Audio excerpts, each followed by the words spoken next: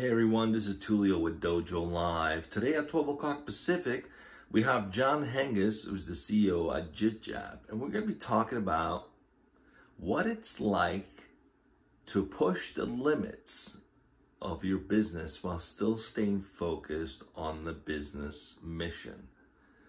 Many businesses talk about doing good, doing social good, but how far can you push that while still staying focused on the business mission. That's what we're going to talk about today at 12 o'clock Pacific. So come join us. See you then.